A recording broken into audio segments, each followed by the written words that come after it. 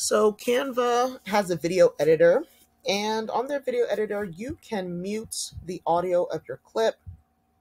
And let me show you, for example, this clip here has some background noise. I'm just going to play it so you can hear it. All right, so that background noise, I want to get rid of that.